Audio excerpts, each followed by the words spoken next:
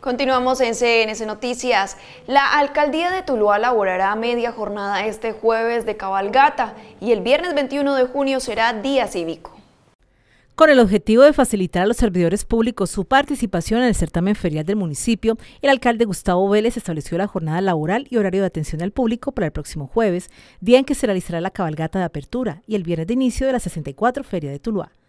Por medio de un decreto, el mandatario de los tulueños declaró que para el jueves 20 de junio la jornada laboral y horario de atención al público será de 7 y 30 de la mañana a 12 del día, teniendo en cuenta que la cabalgata está prevista para la 1 de la tarde.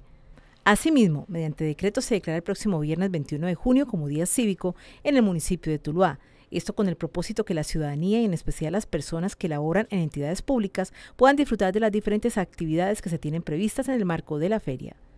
Para tal decreto serán excluidos la comisaría de familia de turno y los agentes de tránsito. Por otro lado, se realiza el llamado a la comunidad que necesite realizar alguna diligencia en el CAM para que se acerque hasta el miércoles o jueves en horas de la mañana a las instalaciones y de esa manera evitar inconvenientes o demoras.